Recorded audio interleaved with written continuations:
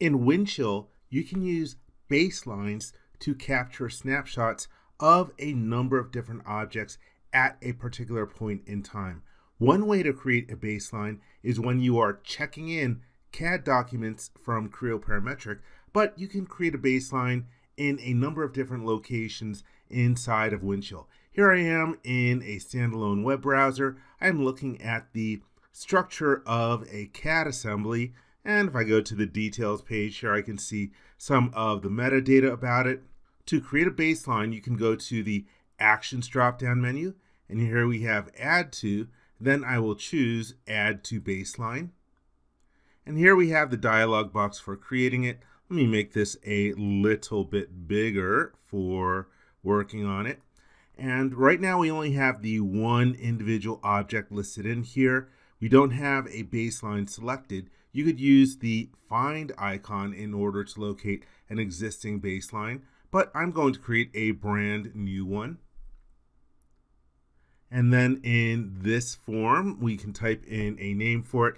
One very common situation that I create baselines is before a design review. So for example, I can create a baseline before the preliminary design review and then before the critical design review. And then you're able to compare CAD documents or WT part structures, whatever you want to capture at that point in time, you can do. All right, so for this particular situation, I am working on an advanced tank and we are going into our CDR. So that will be the name of the baseline. You can write in a description and you can specify whether it is protected or not. Here we have the option to lock it. You can always lock it later on. And we have a standard lifecycle template that will be used. For the folder, I'm going to use the icon in order to change to another folder. Let me go up a couple of levels. And in my product, I have a folder set aside just for my baselines. That way I can capture them all in one location. Then I will click the OK button.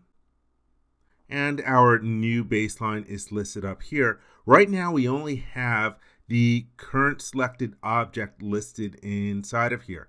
I can select the object and then use the collect related objects icon in order to bring up another form. And right now it is grabbed.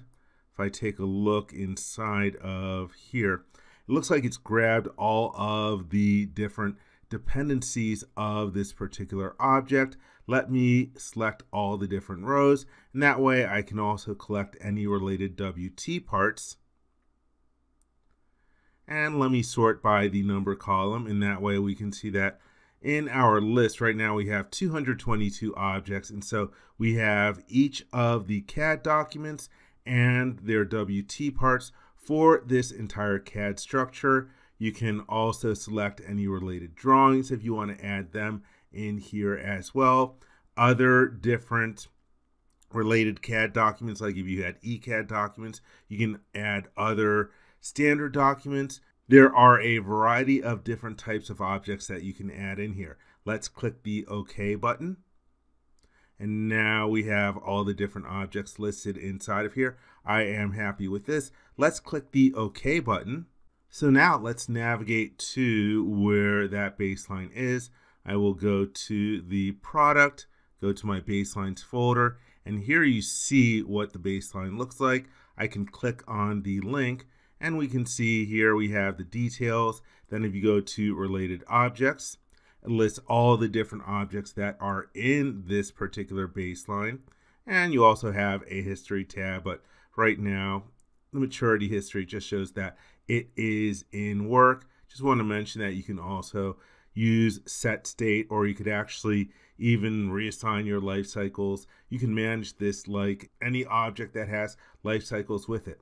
All right, let's say that I decide that, okay, this is good. I've got all these different CAD objects, but maybe I have a document that I also want part of this baseline. Well, anything pretty much that is inside of Windchill, you can add to a baseline. Let me navigate using the breadcrumb trail. I will go to my documents folder, and here we have a PowerPoint presentation that goes along with this design review. So I can go to actions and then in the list, let's find the add to command and then add to baseline. And then here we can use the find in order to search for it. And so for the name of this, I think I put CDR in the name. Let's use the search button. And here we have that one. Let's click OK. And then OK. And now I will use the recently accessed list. Let's go to our baseline. And I can see that here we have the object listed as one of our baseline objects. Previously we had 222, now we have 223.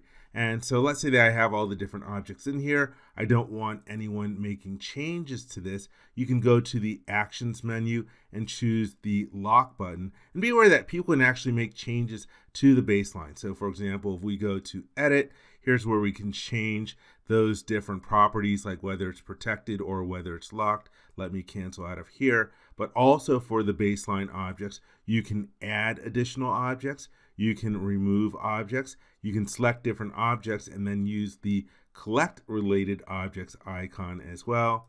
And you can see that we have a lot of the same different commands from the actions drop down menu, but you can also use this in order to add the different objects to a workspace in case you wanted to do something to it.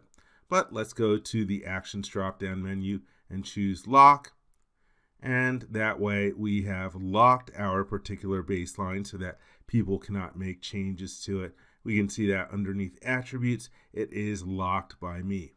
Also, if you take a look in the top line, there is a little lock icon indicating that, again, the baseline is locked. So in this way, this is how you can create a baseline to make this snapshot of all these different particular objects at their particular version that they were added to the baseline. I hope you enjoyed this video. For more information, please visit www.creowindchill.com. If you learned something from this video, please give it a thumbs up. And if you like this video, please click the subscribe button and ring the bell to be informed when new videos are uploaded. Thank you very much.